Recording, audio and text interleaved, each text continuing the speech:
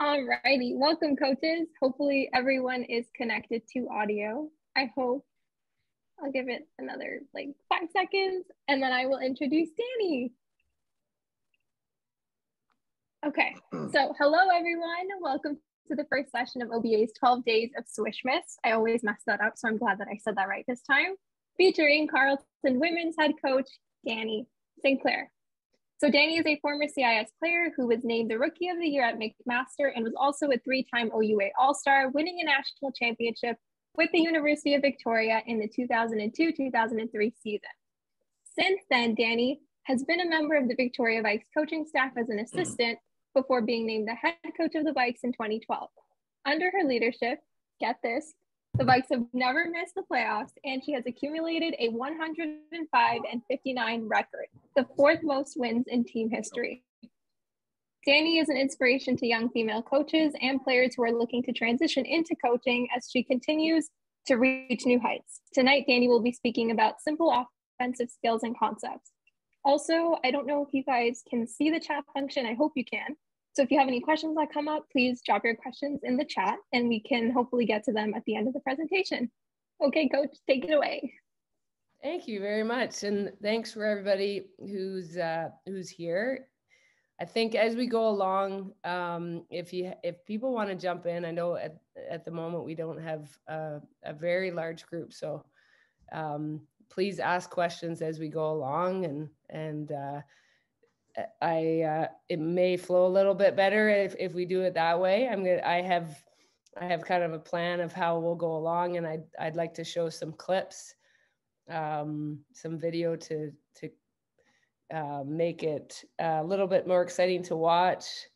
Um, but yeah, we'll get started. So I'm going to share my screen.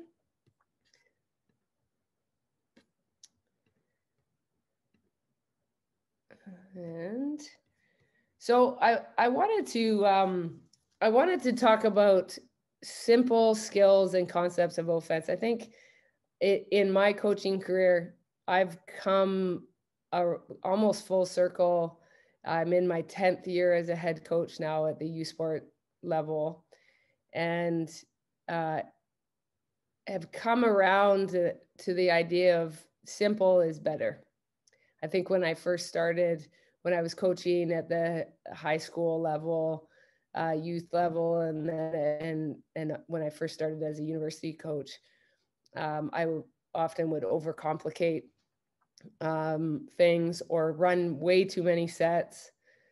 Um, and we were rather than, than being really good at a few things, uh, we could we could um, we could score against medium to like average to medium teams, but then come playoff time or or when we were playing the best teams, we would have trouble. Um, and now, uh, especially in the situation we're in now, so I've I've been out west. I was as as was mentioned, I was at UVic for a number of years, and now in the OUA. Um, you know, we're we're playing against and going to be playing against a lot of the best teams in the country on a nightly basis. And uh, sort of the tricks that I, I used to try to employ don't don't work against the best team. So it, it takes a lot of uh, you have to be very precise in the simplicity but um, you know it's it's the direction that i've gone um, as a coach and it still requires having at the end of the day um, it has to be player driven. You have to have the, have very good skilled players. So we'll talk about co- concepts um, and and a plan first and then get deeper into some of what some of those skills are. So first question to ask when we when we're thinking about offense is is what is your plan offensively? And it has to align with the players that you have. Uh, we try to play at Carleton. We try to play with a lot of pace. Um, we you know, we talk about getting the ball when we get possession. We want to get the ball from um, to the to the opposite three point line in three seconds. um, and we want every we want to start our offense. We want everybody in position in five seconds. Um, depending on the the athletes that you have, that may or may not work. But for us, that's the the pace that we want to play at drives a lot of what we what we want to do. Uh, the next question to ask is what what types of shots do you want to get and where? So, um, you know, obviously high percentage shots. We want to get the ball at the rim, um, and we want to get uh, long closeouts for people to get either wide open shots on the perimeter at, at th- the three or be able to, to attack and get into the paint. Um, but along with that is, and this this is where I've gotten out of of running too many sets and simplifying things so that we know exactly who's taking what type of shots or who's taking the shots that we want to take. So the more simple we are, uh, the easier it is for us to get people the ball that we that get our best players the ball in the best spots to be able to to attack. Um, and and when do we want these shots to be taken? So um, the way we play, so I'll just use this as an example. Like we we allow if we are able to get a stop, so if we defensively rebound or if we get a steal, um, it's it's almost like rewarding your players to not have to run a set. We will allow them to to get to space and play. And i am going to show some some clips of that in a, in a minute. Um, so we have very specific rules about where players need to be and what lanes they're running, so um, that we can get the ball up the floor quickly, get the get the people that we want in certain spots to then be able to attack. Um, and we're we're trying to find the best shot, um, and and but have the ball in the right people's hands. Uh, we will then, if if we don't get a stop, so either if we get scored on or on a dead ball, we still want to get the ball up the floor quickly. So we talk about getting the ball to the three point line in three seconds still, if we're not being pressured. Um, but then from so and and trying to flatten out and, and allow uh, our our ball handler to be able to attack and play, attack in space. But um, from there, we can then flow into a set. Um, and then if we get if we get late clock, then we're trying to get the ball into our best players' hands uh, to be to be taking, you know, either either getting into the paint um, to be able to get a shot for themselves or create a long closeout for someone else. Um, and if we're taking, you know, we're taking, we want to get shots at the rim or at the three, as mentioned. And if we're taking a jump shot, it's with our best player in the last under three seconds. So phases of offense. Um, I mean, we. I think the way the game's being played this, you know, that this day and age, there's like with the short, uh, you know, 24 second shot clock, very fast paced game. There's, you know, we look at we look at the offense in in you know kind of two and then two phases with obviously offensive rebounding being being an aspect of that so you're either attacking and transitioning, attacking attacking in transition, or attacking in the quarter court. So I'm just going to show some clips here of us what I spoke to uh, in transition in terms of what our, our plan is. And we'll talk a little bit about our spacing. So when we get possession of the ball, so this here this is our four who who got the rebound. Now she's someone for us that we're we're okay with her attacking uh, with the dribble in transition. So then we have this player here is our, or typically our our our point guard or our ball handler. And if but if she gets the rebound, she can then replace her in her lane. So we would have our best guard attacker filling the right lane.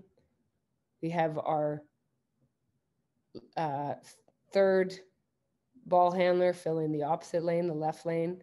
We want our first post or our our first big to be running opposite the ball. So whatever side of the floor the ball is on, they're running opposite the ball. And she actually should be a little bit wider here. So we have a better angle to pass. But you see there just the the type of pace that we want. Okay, and we're trying to widen out and fill lane. So this is, I mean, obviously the type of shot that you're trying to get. It's not always going to be that easy.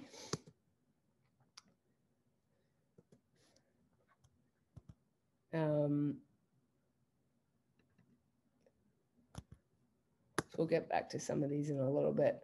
But attack, attacking in transition. Now, if that's taken away, um, we we try to, in in terms of simplifying, we want to be able, if we get stopped in transition, so if we don't get an easy score, what is our spacing to be able to flow quickly into something else. So we we talk about having uh, a, a matchup. So we have a matchup guard and a matchup forward, and we we space the floor and we move the ball in a way to make sure that we're getting one of those two people the ball and trying to get them on the same side of the floor so that they're if for example if we put the ball into the into our matchup post then we're trying to get the matchup guard on the same side of the floor so they can't they can't dig down and it, it gives more space for that matchup post to play. Um,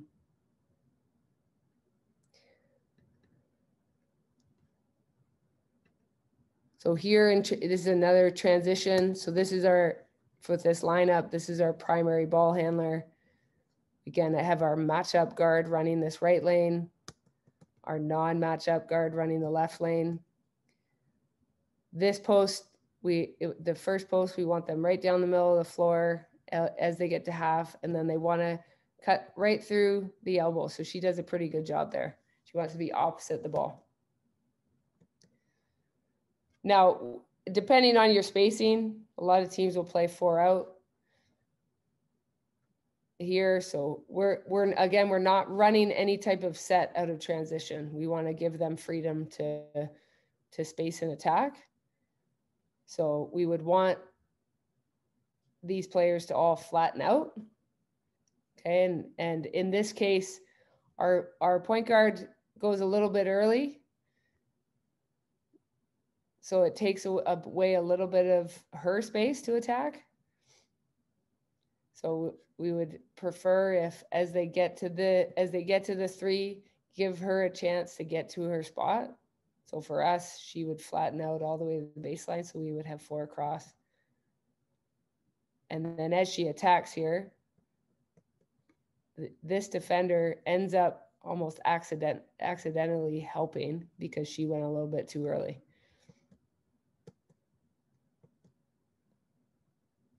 But in terms of spacing to get up the floor, not too bad. So we're in white here. Again, we get defensive rebound.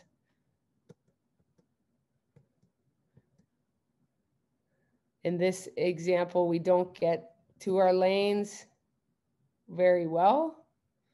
So, so in terms of where the ball is, this is this is our first post. She should be opposite the ball, so we have an angle. But the but the guard, I think, I mean, she started to go that way because the ball was on this side of the floor. Okay, but if the ball changes sides, we have to try to change sides of the floor.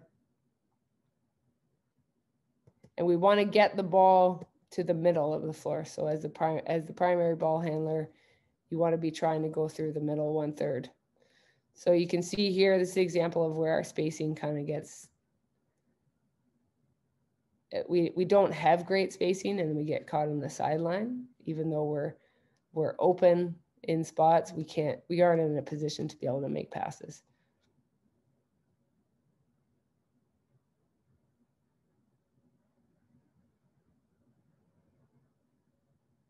So we end up having to take a tough shot.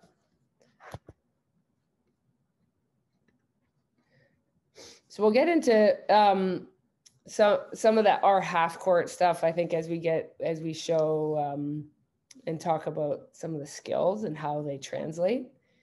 So when we when we play out of the the um, quarter court, or if if whether it be out of transition or if we're running a set, the the simplicity of it is that we're trying to again get the ball into our best players' hands. We may run very simple action to do that, but at at this point, uh, we're you know at this we're not really looking to run a whole bunch of screens and cuts when we can simply just get the if we can get the ball in our best players' hands early, and either either find a matchup that we like, so find a defender. So we may set we may set a screen to get a switch to get a defender a bet a better matchup for us or if we already like the matchup, we'll just get them the ball in a spot where they can attack. So for our perimeter players, that's you know that could be somewhere along around anywhere along the perimeter, depending on who that is. And then for our our post players, um, you know, either on the elbows or at the at right at the front of the rim or on the blocks. Um, so some of the skills, the important skills to develop uh, to be successful offensively. So footwork, obviously, and this is something you know as I've I've been around long enough now, coached long enough at this level that it's an area that um, is there's less there seems to be less and less attention paid to it. Like athletes are coming in with with very poor footwork um, and we're spending a lot of time with them to try to fix that. So f- important skills. So in to get to get open footwork to get open. So if we're one pass away from the ball whether we're inside or on the perimeter we can be open open to the ball and in open stance and this allows us on the catch to be able to rip and go and, and attack so we can do that with either foot um, if we're two or more passes away, we can we, we're the defense is not likely to be up in a passing lane, so we can have two feet to the basket. Um, and and on our catch, we work a lot with our athletes having a permanent pivot foot. That's just our preference. It it creates more consistency with your attack, um, and it and if you shot fake or jab, and you're doing that with a permanent pivot foot, then you're it's it's more realistic um, in that fake to then be to be able to to attack or play. Uh, footwork to attack. So again, permanent pivot foot. This is important for being able to create space to pass, shoot, or attack. So we'll I'll, I'll show some clips in a second, um, just where you know we have some pretty good perimeter players who are able to to score and attack off the dribble. Uh, but before you know, before you get into being a great attacker, you need to be able to have great footwork. So we'll we spend a lot of time just on very sim- simple uh, catching with balance, jab, um, and and again that permanent pivot foot. I think the the most important skill uh, in terms of being a great offensive player is not i mean not necessarily dribbling the ball in some ways it's it's i think i have down here it's also the the most overused skill like when when athletes are going and working with trainers like it's it's overdone um so we're when when I talk about dribbling, I don't mean dribble moves necessarily, but just the ability to create space with the dribble. to either score or pass. And and why is that important? So being able to get downhill. So whatever you're doing offensively, getting the ball into the paint has to be a priority. And and and if you you know shooting's obviously important, but if you don't have people on your team that can get by somebody on a dribble, you're you're not going to create a lot of opportunities for shooters. So it you know having somebody who can get downhill and get into the paint and create space with a dribble um, uh, as as we see here it, it more fouls are going to occur as the ball gets gets into the paint. Uh, higher sh- field goal percentage partly because you if you're getting into the paint consistently you're going to get lots of shots at the rim. Uh, you're going to have more more shooters and cutters will be open. So if you get if the ball's getting into the paint you're likely drawing a second defender, which is then going to allow uh, you to kick the ball out to shooters, and they're going to have more space and time to shoot the ball uh, or create a long closeout where they can then attack again. Uh, and if the ball's again, if you're getting downhill and the ball is getting into the paint, again, you're bringing, you're causing rotation. So on a shot, there's going to be more opportunities for rebounds. So we'll just show, uh, again, some clips of us and the importance of being able to get by people off the dribble. So here, the athlete here with the ball, she's our best shooter. Um, so teams teams are going to respect that. Okay, so she uses that to advantage uh, her advantage with a with a shot fake to be able to attack and get by. So she draws two defenders. And this is then she is able to get by that second defender to score or draw foul.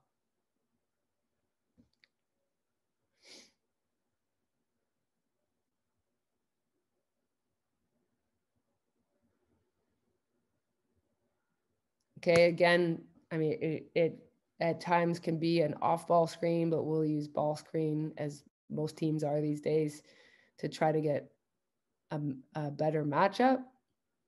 So we get a switch here. Our the athlete with the ball recognizes. So we flatten everybody out and she uses simple. So as you as you can see here, she's not she's not really gonna she makes one dribble move, one simple dribble move, and then create space, get straight downhill, and gets to the rim for a layup.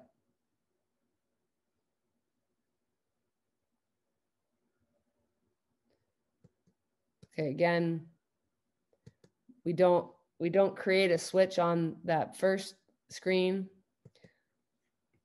but she fakes she fakes opposite and then is able to try to create space. She's not able to do that. But she gets eventually downhill and gets into the paint.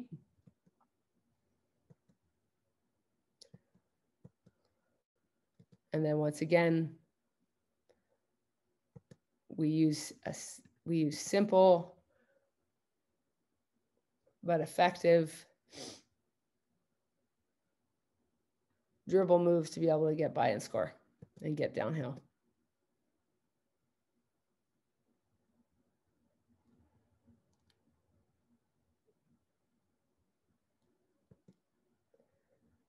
So we'll talk about this a little bit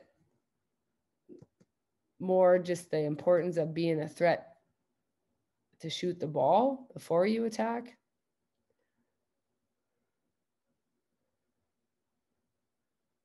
So again, just being able to attack and create space off the dribble. It has to be you, you need to be you need to have players that are able to do it. Okay, and then also able to then make plays once they tra- draw two defenders.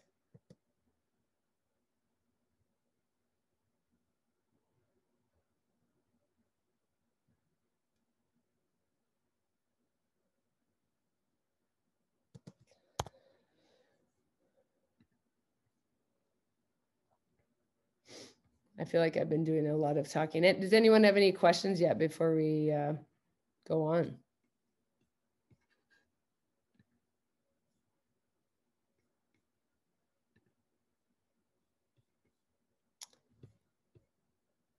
Okay.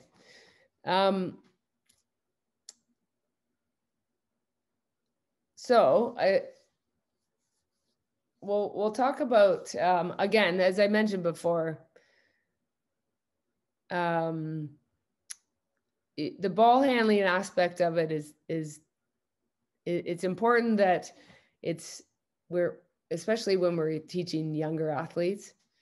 I I coached at younger levels for a long time, um, you know, all the way from grade four through through grade nine for a number of years, and when you know obviously they're watching the NBA and and um, WNBA even a little bit in terms of uh, the types of what the or the style of play.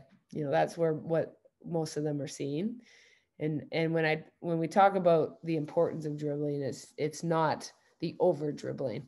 It's it's used to separate from the defense, and then um, with that uh, the importance of also being able to pass the ball and shoot the ball. So, in terms of shooting, I'm not I'm not going to talk about shooting in terms of the skill itself.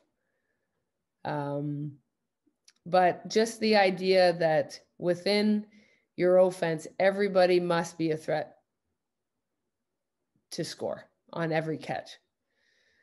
Um, and and particularly in in transition if if we have our best shooters running uh, the floor and looking to attack and looking to shoot the ball it's it's very hard for defense in scramble situations to recover and know uh, and not uh, if whoever is catching the ball is catching and looking to, to be a threat even if they aren't the best shooter on your team, it's it's hard for defense in a scramble situation to to not react to a shot fake or not um, not honor the fact that they are looking to shoot the ball first. So, I mean, we we have athletes on our team who feel like they're not the best shooters and they don't always look to shoot, and it just makes them easier to guard. So, every time you catch the ball, put the ball in shooting position and be a threat to shoot first. And and footwork's impo- important with that. Um, your footwork and um, your shot fake must replicate what it what your footwork um, and shooting form would be if you were actually going to shoot the ball. Um, so have your feet ready and have your eyes uh, up and and be a threat. A lot of um, a lot of our spacing uh,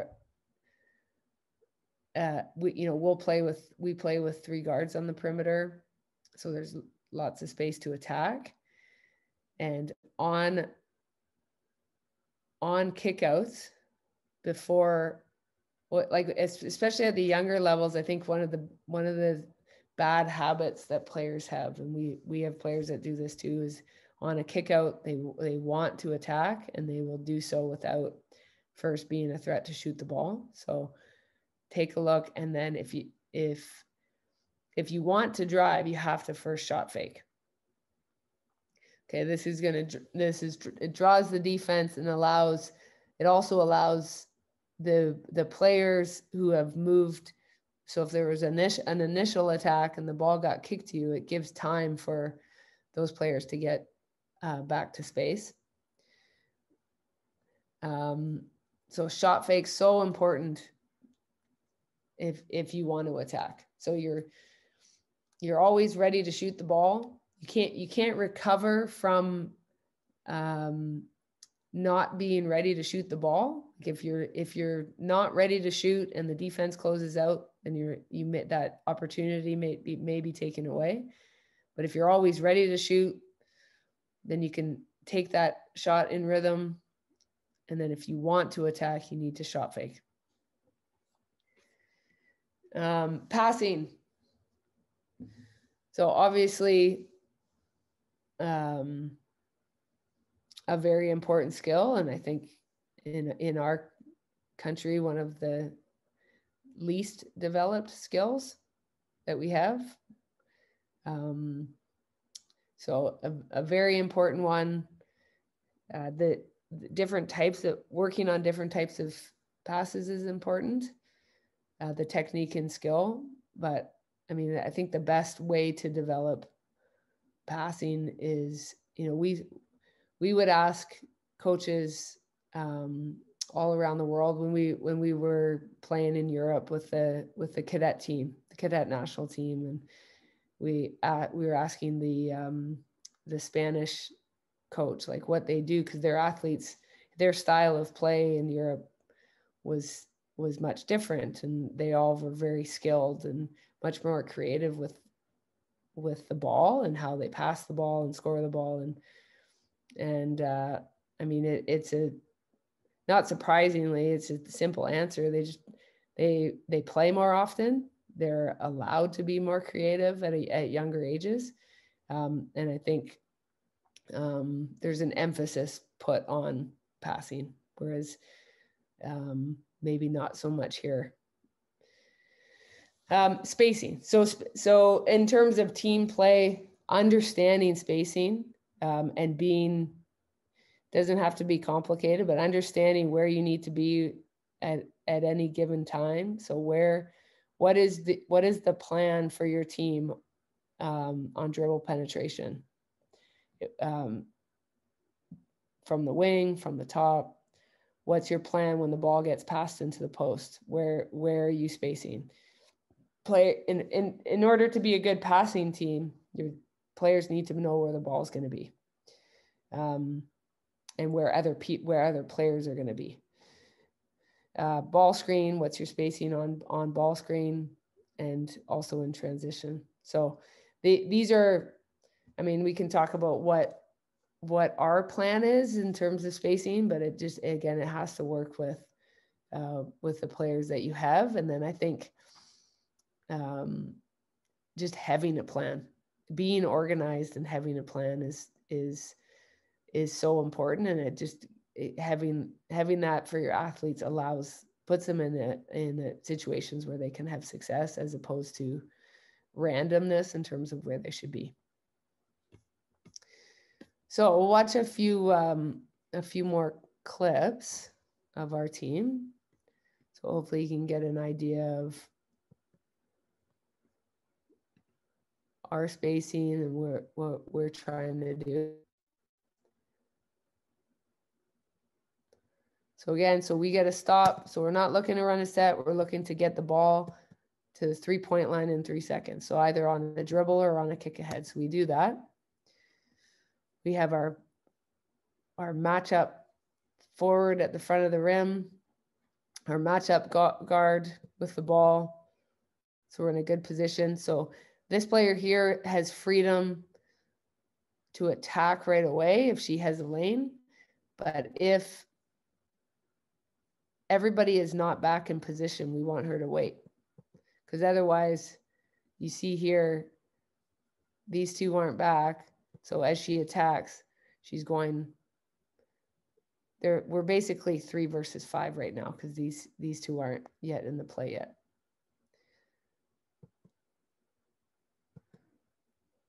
Okay, but we do our spacing is pretty good otherwise because she once she doesn't get it, she's got to she's got to exit the paint. We have three on the perimeter, and then even though we get stopped, our four has sp- space to dive.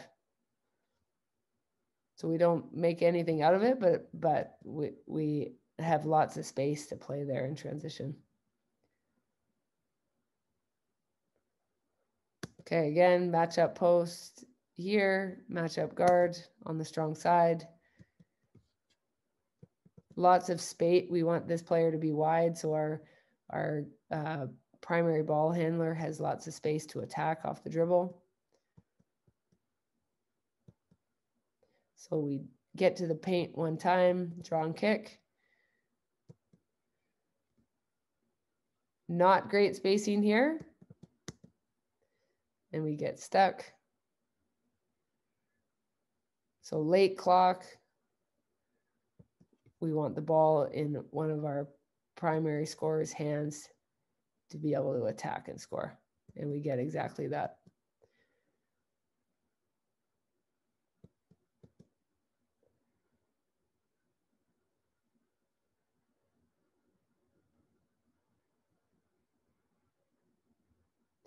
Okay, again in transition. So we're just looking to flatten out and draw and kick. So we get if we if we can't score, we want to make sure we get balance and get to two feet. And everybody knows exactly where they should be. So she should she should really have four options here of people to pass to. Okay, we force a long closeout on this kick out. Okay, she's she's one of the best shooters in the league, so she doesn't necessarily always have to shot fake because she's such a threat to shoot the ball. So she gets by, draws a second defender, and then we get a wide open three.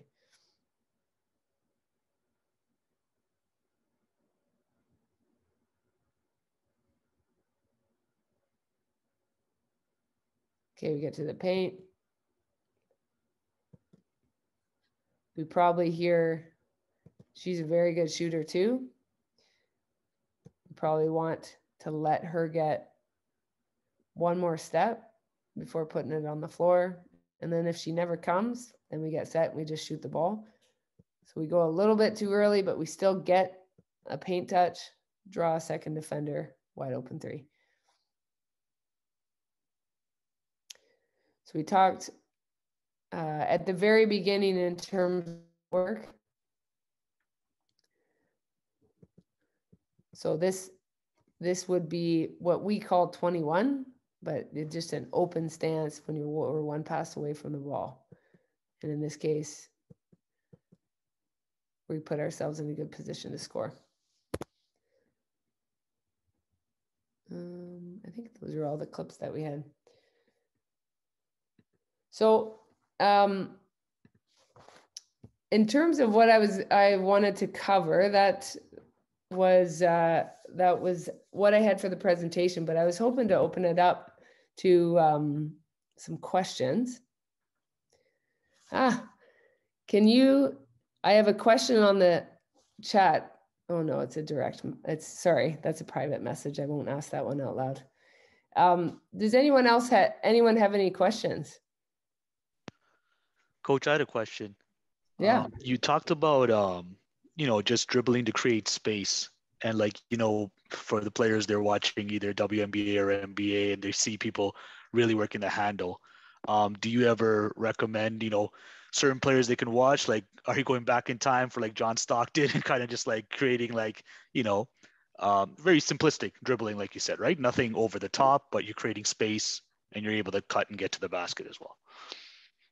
Yeah, I think I think the important thing is to I it's it's so important to watch basketball and try to find players that it, try to duplicate or replicate um, moves or things that they do. Like I know that that's how I fell in love with basketball was just going and watching university basketball and then starting to watch it on TV.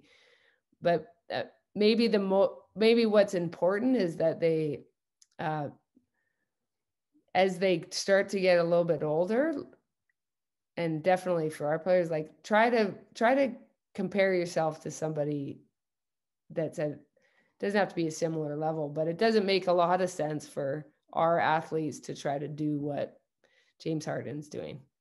Maybe it makes more sense for them to be watching um, Sue Bird or um, or other or NCAA players or players in the their own league. Like we we will sometimes take a look and watch film of players that are other players in U Sports as as an example of of different things they can try to do. So I I think it's I think it's a great way to motivate athletes. Um, and it's an important part of becoming great competitor is is watching basketball and and learning from others. So just may just maybe the nba i think maybe can kind of it's it's um it's definitely a different style of play. Um and and in in north america unfortunately we don't get to see a lot of a lot of the best basketball like in terms of in terms of team play mm-hmm. um, like that that you see in Europe and that type of stuff. So may, maybe not replicating the, what's happening there, but that you can definitely learn some stuff from watching. Yeah, definitely. Thank you. Mm-hmm.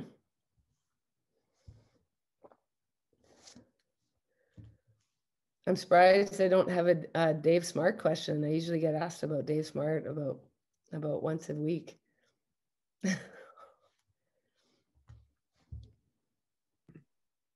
okay, I think, Coach, if there aren't any questions, and if you have anything, like if you want to finish off with anything, we'll we'll let you go because we don't want to take up much of your time. Yeah, no, I I think just a, a, thank you to Ontario basketball, and I'm I've been out. I'm born and raised in in Guelph, but uh, been out west for a little while. So just happy to be back in Ontario and thanks for having me on and happy holidays to everybody. Thank you. Thank you for being here. We appreciate it. And thank you for everyone and all the coaches who joined us. Awesome. Happy holidays. Thank you, coach, again. Yeah, thanks so much. Really appreciate it.